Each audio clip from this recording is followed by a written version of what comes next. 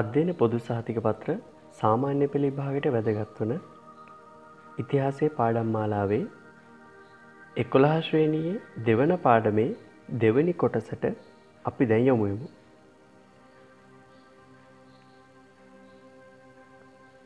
දෙවෙනි පාඩම ශ්‍රී ලංකාවේ බ්‍රිතාන්‍ය බලය පිහිටුවීම. අපි පළවෙනි කොටසෙන් කතා කරා ශ්‍රී ලංකාවේ බ්‍රිතාන්‍ය බලය පිහිටුවීම ගැන. බ්‍රිතාන්‍යයන් ආසියාවට පැමිණීම ඉංග්‍රීසින් හා උඩරට රාජ්‍ය අතර සබඳතා ශ්‍රී ලංකාවේ මුහුදුබඩ ප්‍රදේශවල බ්‍රිතාන්‍ය බලය පිහිටුවීම මිවරන් කොමිසම ගැන ද්විත්ත පාලනය ගැන එක්දා සරසි තුනේ ආක්‍රමණය සහ එක්දා සටසිය පහළවේ ආක්‍රමණය ඒ වගේම උඩරට ගිවිසුම ගැන. විදේශ ආධිපත්‍යයට එරහිව සටන් ගැන අපි මෙම කොටසෙන් සාකච්ඡා කරමු. වර්ෂ එක්දා සටසේ පහළවෙදී ඉංග්‍රීසීන් උඩරටට පැමිණි නිසා ශ්‍රීවික්කම රාජසිංහ රජුගේ දරදඩු පාලනයෙන් උඩරට වැසියන් මෙදුනත් ඉන් අනතුරුව ඇති වූ පාලන ක්‍රමය ගැන ප්‍රසාදයක් උඩරට ජනතාවට තිබුණ නෑ. යුරෝපීය ආක්‍රමණිකයන්ගෙන් ජීවිත පරිත්‍යාගෙන් සටන් කරමින් රැකගත් නිදහස තමන්ට අහිමි වන බව උඩරටියන්ට වැටහුණා. ඒ නිසා ඉංග්‍රීසි පාලනයට එරෙහිව පැන නැගුණු සටන් නිදහස් සටන් විදියට හඳුන්නනවා. එක්දස් අටසිය දහටේ සහ එක්දස් අටසිය හතලිස් අටේ නිදහස් සටන් දෙකක් සිදුවන. අපි මුලින්ම එක්දස් අටසිය දහටේ නිදහස් සටන ඇතිවෙන්න හේතු සටනේ ස්වභාවය සටන අසාර්ථක වෙන්න බලපෑ හේතු සාකච්ඡා කරමු. එක්දස් අටසේ දහට නිදහස් සටන වර්ෂ එක්දස් අටසේ දාහතේ සැප්තම්බර් මාස සිට එක්දස් අටසේ දහටේ ඔක්තෝම්බර් මාසය දක්වා උඩරට ප්‍රදේශවල පැවති ඉංග්‍රීසි විරෝධී ආයුධ සන්නද්ධ නැගී සිටීම එක්දස් අටසිය දහටේ නිදහස් සටන විදියට හඳුන්වනවා.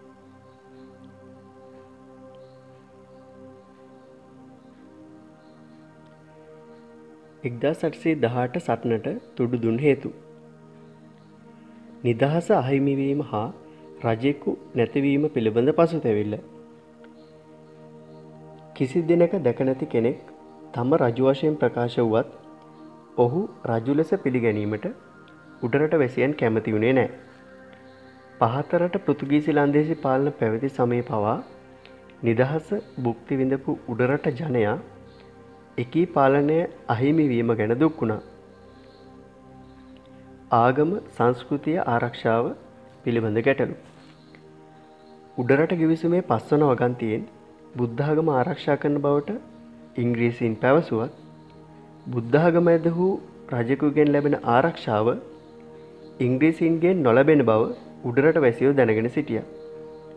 උඩරට ආගමික හා සංස්කෘතික වශයෙන් සිදු වූ පිරිහීම උඩරටයන්ගේ නිදහස පිළිබඳ හැඟීම ඉස්මතු කරන්න හේතුුණා.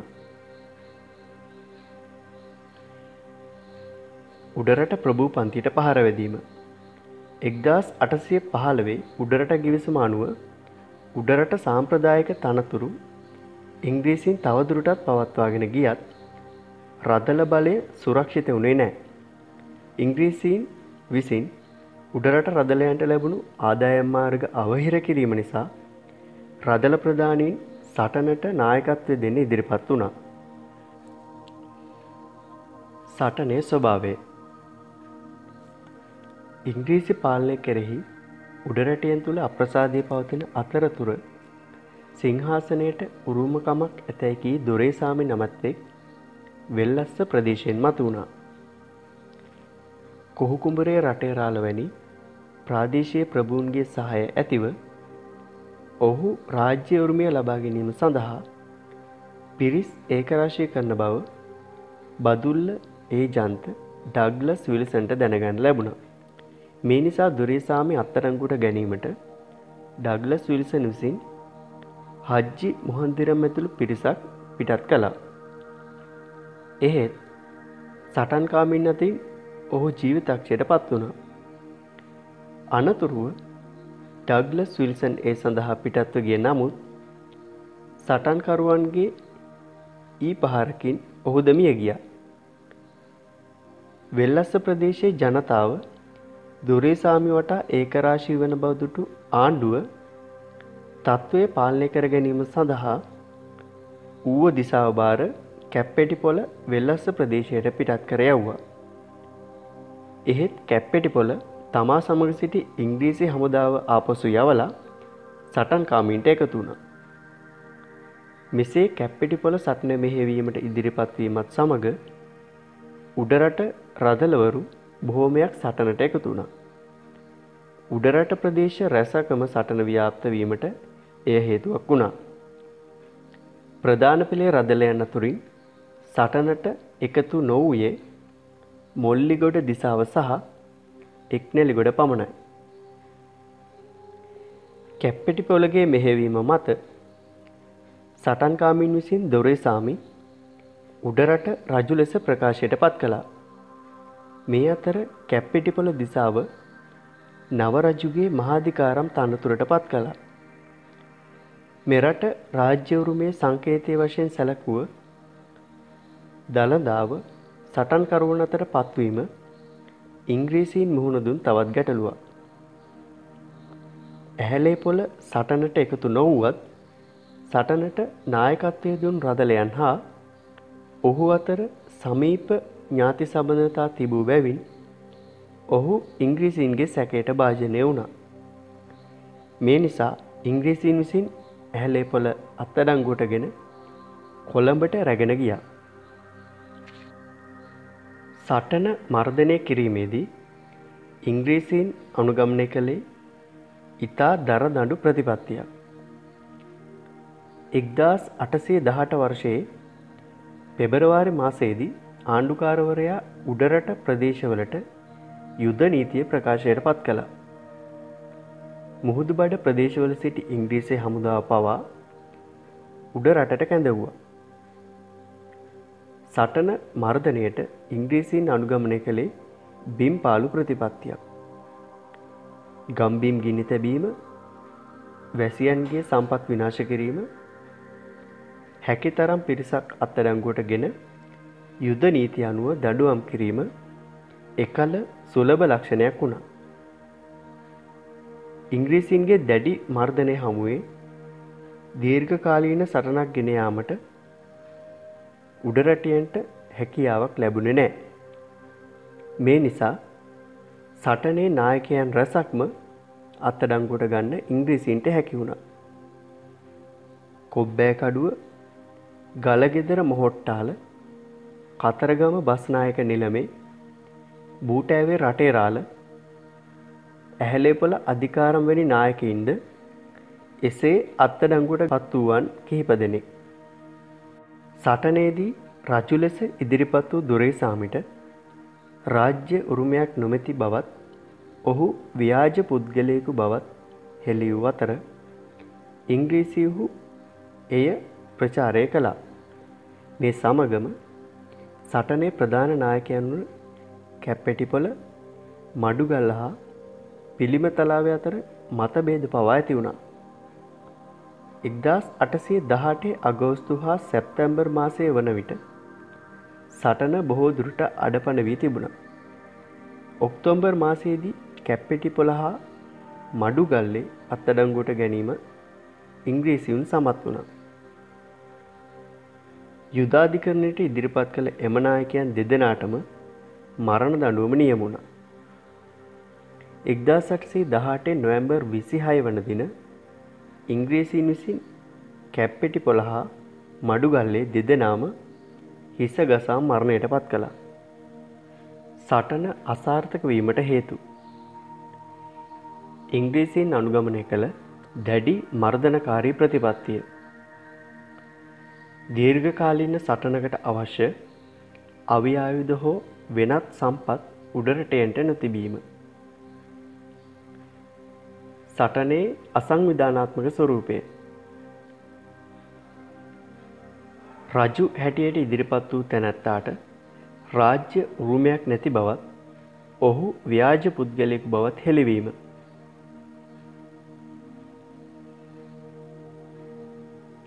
එක්දස් අටසේ දහටේ නිදහස් සටනය ප්‍රතිඵල ඇහලේපොල කැප්පැටිපොල මඩුගල්ලේ වැනි නායකන්ට උඩරට රාජ්‍යය නිදහස වෙනුවෙන් දිවි පිදීමට සිදුවීම.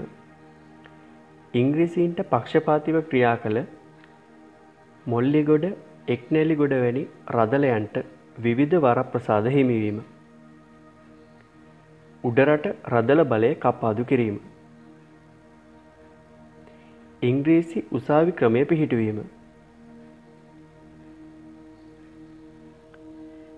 එක්දස් අටසේ හතලිස් සටේ නිදහස් සටන ඉංග්‍රීසි ආධිපත්‍යයට එරෙහිව ඇති වූ ආයුධ සන්නද්ධ දෙවන අරගලය එක්දස් අටසිය හතලි සටේ නිදහ සටන විදියට හඳුන්වනවා. සටනට තුඩු දුන් හේතු. කෝල්බෘක් ප්‍රතිසංස්කරනවල බලපෑම. රජයේ නව බදු ප්‍රතිපත්තිය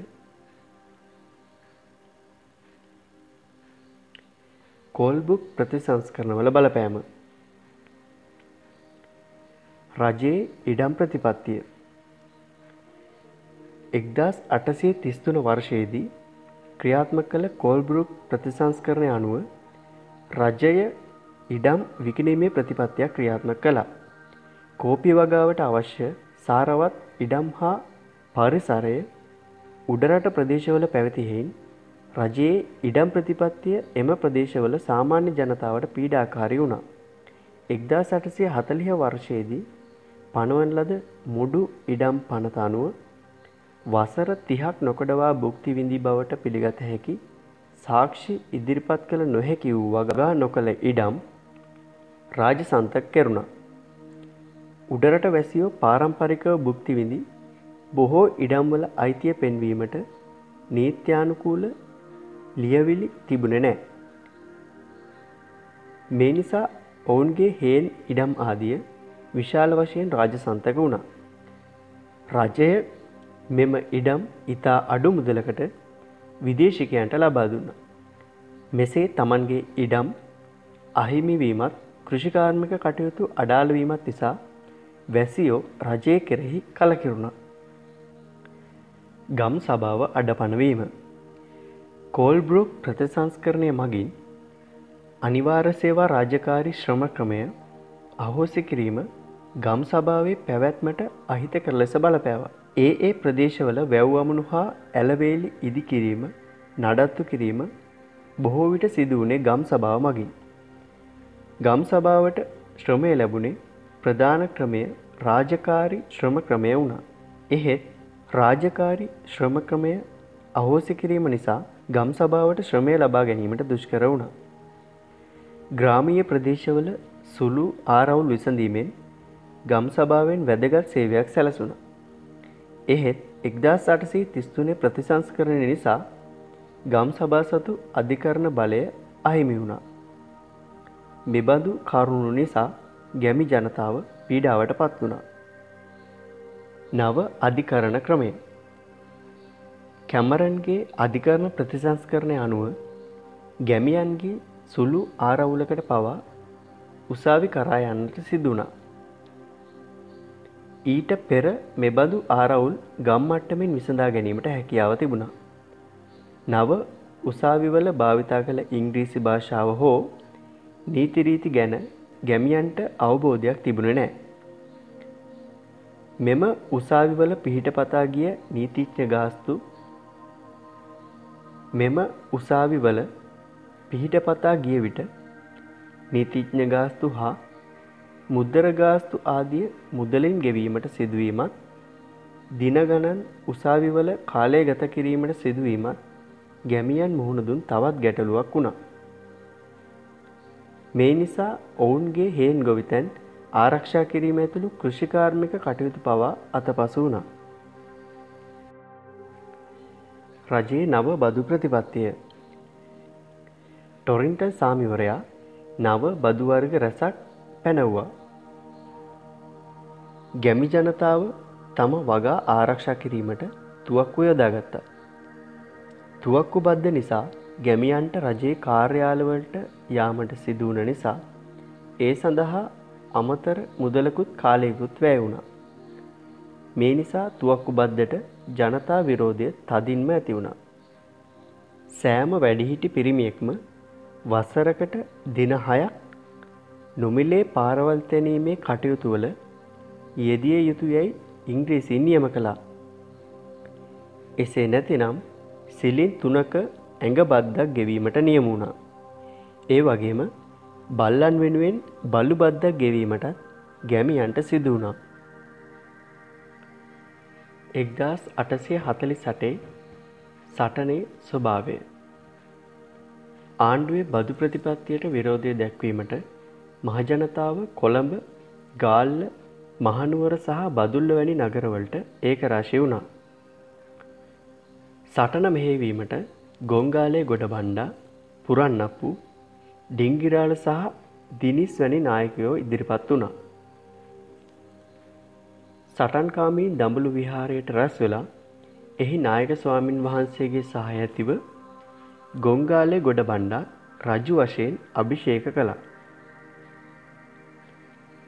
සටන ආරම්භ වී මාස දෙකක් ගතවන විට සටනට නායකත්වය දුන් නායකයන් බොහෝ දෙනෙක් ඉංග්‍රීසි අත්තඩංගුවට පත් වුණා. ගොංගාලේ ගොඩ බණ්ඩාව නඩුවසා රටින් පිටුහල් කළා. වීරපුරන් අප්පුට මරණ දඬුවම හිමි වුණා. කඩහපොළ හිමියන්ව වැඩි වග විභාගයකින් තොරව වෙඩි තබා මරා දැමුවා. සටන අසාර්ථක වීමට හේතු. මනා සංවිධානයක් නොතිබීම. සාමාන්‍ය ජනතාවට නිසි යුද පුහුණුවක් නොතිබීම. අවශ්‍ය තරම් අවි ආයුධ නොතිබීම. ටොරින්ටන් ආණ්ඩුකාරවරයාගේ ක්‍රියාකලාපයට බොහෝ විවේචන එල්ලවීම නිසා ඔහුව නැවත බ්‍රිතාන්‍යයට කැඳෙව්වා. විශේෂ කමිටුවක් මගින් මහජන විරෝධයට ලක්වුණ බදු වර්ග ඉවත් කළා. ගොවි ජනතාවගේ ගැටලු විසඳීමට පෙරට වඩා අවධානයක් රජයෙන් යොමු කෙරුණා.